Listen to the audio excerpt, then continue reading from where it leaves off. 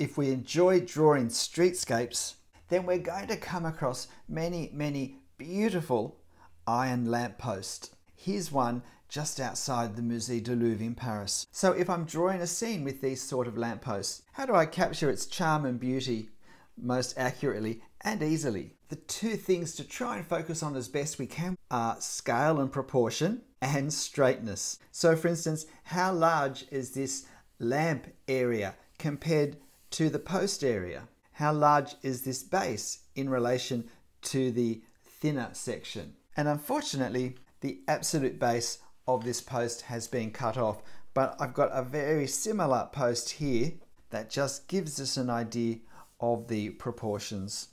And a lamppost is much like a tower. We want to stack all the different components in as straight a line as we can. So let's start to draw. I'm drawing with a 0.3 millimeter fine line of black ink pen, uh, just drawing directly onto the paper in ink. So I start with this straight section because that then is going to be my guide, if you like, my ruler to try and keep the rest of the lamppost really nice and rigidly straight.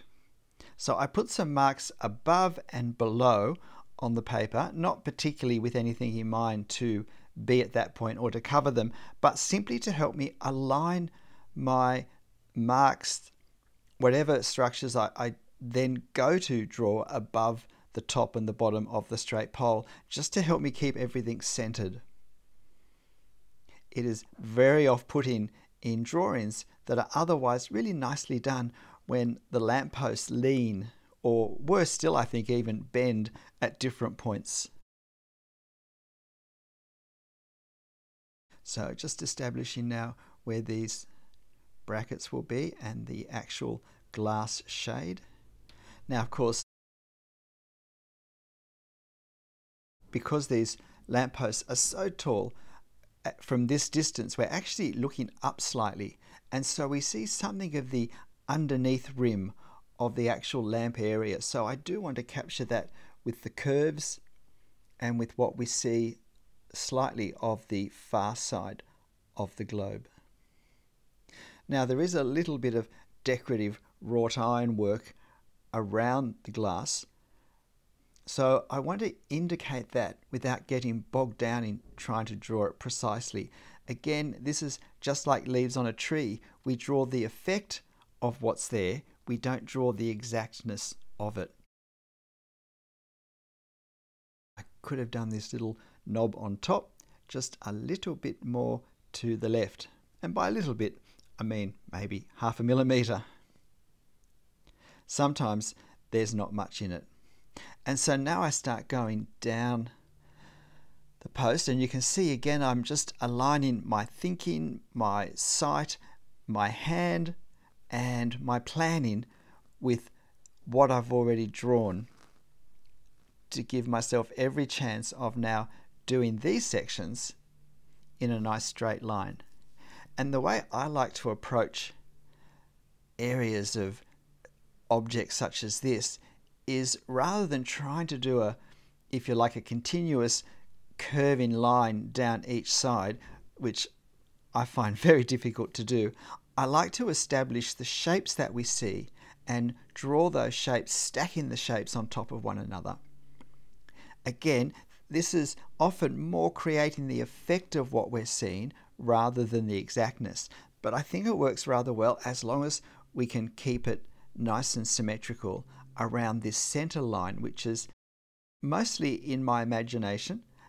But again, I could have put a series of dots going down in a straight line from the base of the straight part of the post, and that would have helped me align things even more easily.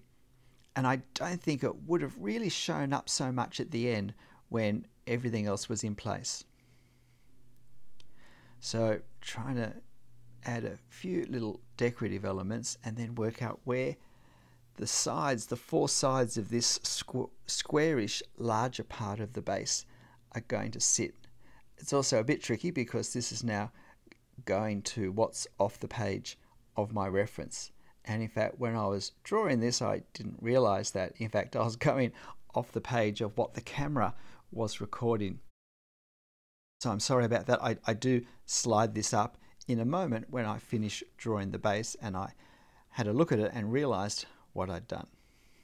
I finished up drawing my lamppost a bit larger than the one in the drawing, which is what caused the issue.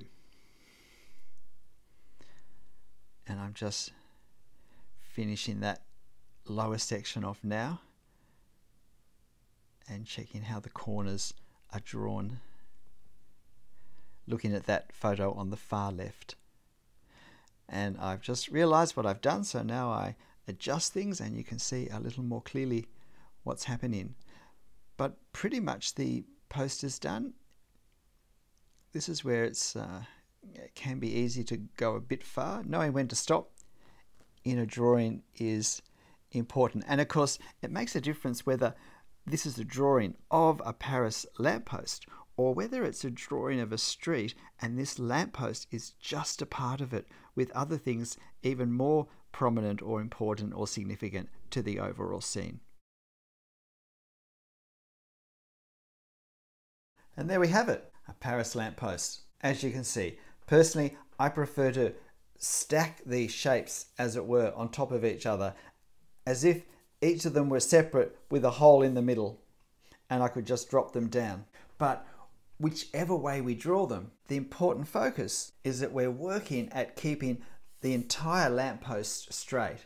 And that means that as we go down or up, depending which way we like to draw them, we are always looking at what we've drawn and we're just aligning our thinking with whatever part we've already drawn.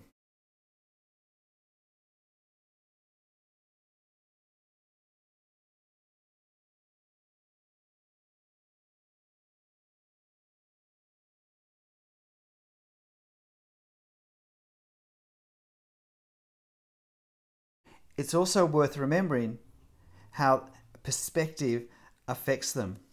Let's say we have our eye level here.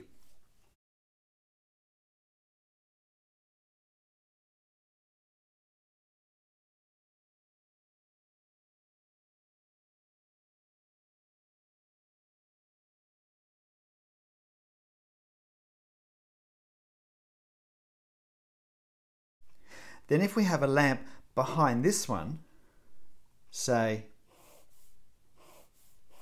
here, then this shows how this section is really going to be sitting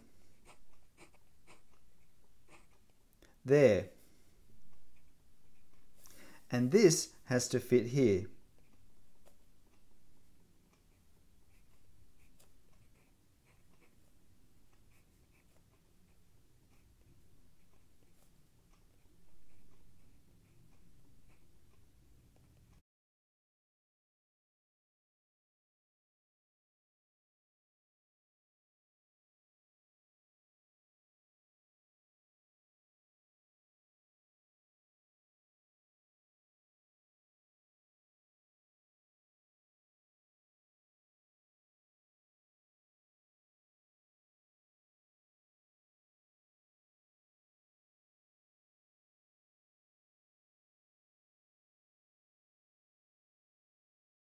And if we have another one going further back, notice how as I'm drawing these lampposts further back, I'm not just drawing them smaller because of the perspective angles involved, but I'm also drawing them with a lighter touch, with less detail. I'm wanting my lines to be a little bit thinner, a little bit finer. I might possibly even have swapped from a 0.3 to a 0.2 pen. In fact, I have. I'm just looking at the pen now, I did change to a lighter pen to help me create a lighter effect. But it's not just that I'm drawing with a lighter pen, I am also doing less detail. My lines, my shapes are more suggestive than they have been for the first one. There is less exactness. The most important thing is to line up the more obvious changes of shape, of form, in the lamp from top to bottom on those perspective angles. And so forth. It's important that we line up the various components of our lamps with the perspective angles that the viewing position of this street creates. G'day, I'm Stephen Travers. If you ever need to or want to draw some of the beautiful lampposts in the streets of the major cities of the world, I hope this has given you some ideas of things to think about to create the best result you possibly can. But whatever you're drawing, however you're drawing it, have fun. I'll see you next time. Bye.